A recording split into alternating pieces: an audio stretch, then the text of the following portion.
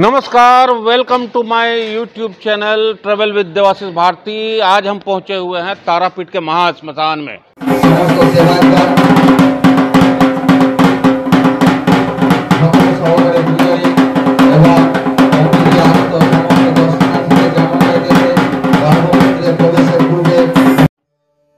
तारापीठ में माँ तारा के उग्र रूप को दर्शाया गया है। खोपड़ी की माला माँ की निकली हुई जीभ, चार भुजाओं वाली माँ तारा भक्तों को काफ़ी प्रिय है। माँ तारा के परम भक्त बामा खेपा ने यहाँ सिद्धि प्राप्त की थी। यही वजह है कि इसे सिद्धिपीठ भी कहते हैं। ऐसी मान्यता है कि माँ तारा का साक्षात दर्शन बामा खेपा को हुआ था। बामा खेपा द्वारका नदी किनारे स्मशान में माँ की साधना में लीन रहते थे। अगल बगल के गाँव के लोग बीमारियों तथा अपनी संकटों को लेकर बामा खेपा से मिलने आते थे। बामा खेपा उनकी समस्याओं का निराकरण करते थे और तब से यहाँ लोगों के पहुँचने का सिलसिला शुरू हुआ, जो आज भी जारी है। माँ के दरबार में हाजिरी देने वालों की लंबी कतार लगती है। लोग यहाँ विभिन्न प्रदेशों से आते हैं। पूजन के अलावे हवन का भी आयोजन मंदिर परिसर में किया जाता है। माँ के मंदिर में मनोकामना लेकर पहुँचने वाले श्रद्धालुओं की मनोकामना माँ तारा पूरी करती है। हमारे साथ यहाँ साधु संत महात्मा बैठे हुए हैं, जो लगातार तारापीठ में साधना में लीन रहते हैं। हम इनसे जानेंगे बामा खेपा का यह साधक साधन स्थल है। बामा खेपा ने साधना से यहीं पर अपना प्राप्ति किया था मोक्ष की प्राप्ति किया था। हाँ। किया था? हाँ, बाबा आप हाँ। क्या जानते हैं इसके बारे में? बामा के पा यहाँ पर जो किए है वो उनका चरण चरण उधर है समाधि। जहाँ पर किए है वो गाछ के पास वहाँ समाधि है वहाँ पर माँ का चरण है। सब वहाँ प्रणाम करते हैं। धूप बत्ती जलाते हैं मोमबत्ती जलाते हैं मामा के पास यहाँ छोड़ के कहीं पर साधना प्राप्त नहीं किए हैं। उनका घर है अटला ग्राम में।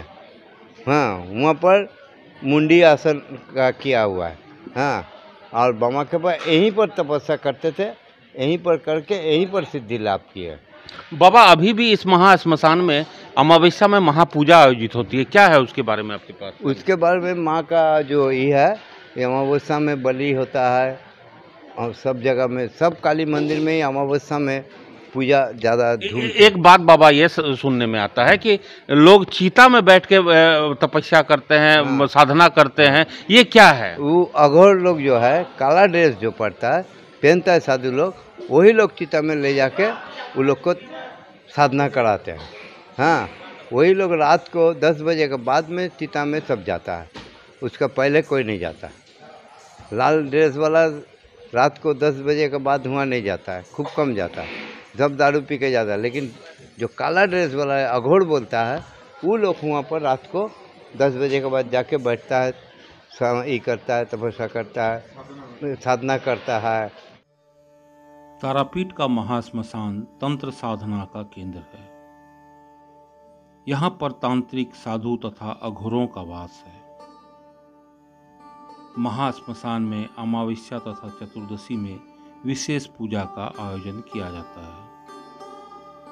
अघोर चतुर्दशी में चीता में बैठकर अघोर पूजा करते हैं। मान्यता है कि जब तक तारापीठ के महाश्मशान में लाश नहीं पहुँचता है, तब तक माँ तारा की पूजा प्रारंभ नहीं होती है। उत्तर वाहिनी द्वारका नदी के किनारे महाश्मशान में बामा खेपा का समाधि स्थल है। यहाँ श्रद्धालु बामा खेपा की पूजा अर्चना करते हैं। माँ तारा के चरणों की छाप भी महाश्मशान में मौजूद है।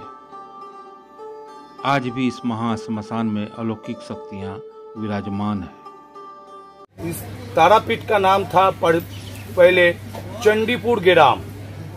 तारापीठ नहीं था।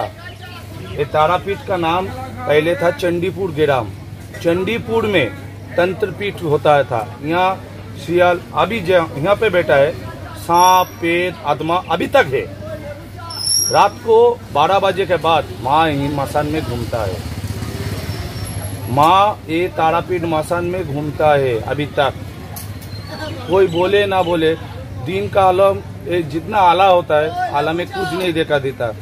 अंधकार होगा तो सब अघोर का खेला होता है। माँ तारा देवी तो अघोर का देवता है। ये तारापीठ का महाश्मशान है और हम तारापीठ के महाश्मशान में पहुँचे हुए हैं। आप देख सकते हैं, मेरे पीछे जो लाश जल रही है और यहाँ की ये मान्यता है कि रोज एक न एक लाश यहाँ पहुँचना है। जब तक लाश नहीं पहुँचती है, तब तक माँ का भोग नहीं लगता है। ये आज से नहीं, शुरू से चला आ रहा है।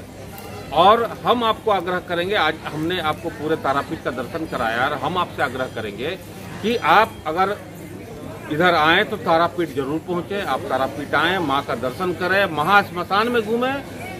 और अगर मेरा यह वीडियो आपको अच्छा लगे तो कृपया इसे लाइक करें, कमेंट करें और मेरे channel travel with Devashish Bharti को सब्सक्राइब करें।